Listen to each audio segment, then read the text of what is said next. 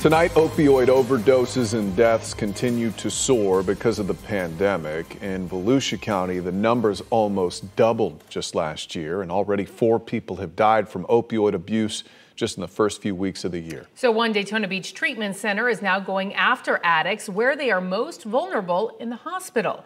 News 6's Erik von Ancken shows us how the center and the This is where I'll spend like half of my day um, in the emergency room. Larry Brooks is a recovery specialist, he tells me. I'm trying to connect um, because these patients that come in there are at their absolute lowest point in their life.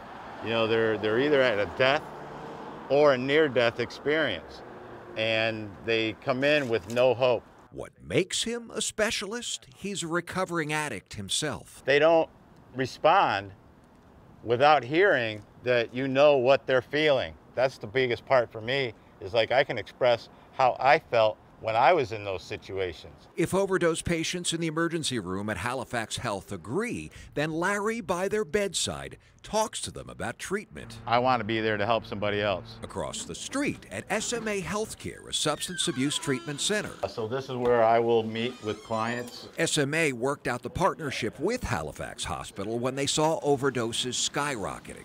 Last year in Volusia County, 2,291 people overdosed compared to 1,169 a year earlier.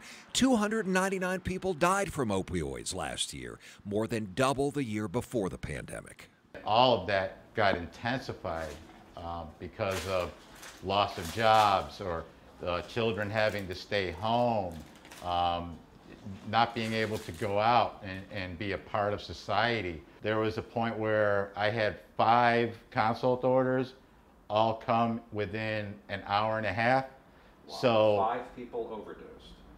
Those are just the ones that agreed to talk to me. Around half of the addicts who make it to the hospital after an overdose do not want to talk about treatment, SMA says. But the ones who do and follow up at SMA, that's 159 people over the past 12 months. It sounds to me like this is your your best chance to get through this. The absolute Getting best. there as soon as they get there. The absolute best chance. Because once they leave, if you haven't got to them, you lost your chance. Absolutely. And the most important thing is we might have lost them. And Larry's success rate is actually quite good. It's 32%. So that's one in three people that Larry meets with at the hospital end up coming here to SMA for treatment and counseling. And that's compared to the usual 10% of people who overdose and end up following up for treatment typically. In Volusia County, Erik von Ancken getting results together. News 6.